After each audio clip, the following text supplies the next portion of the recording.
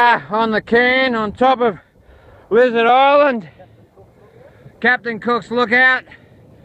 This is where Captain Cook came to find his way out of the reef. And uh, I'm tipping he had a nice feed of eggs and bacon before he came up here. Because it's a long way up.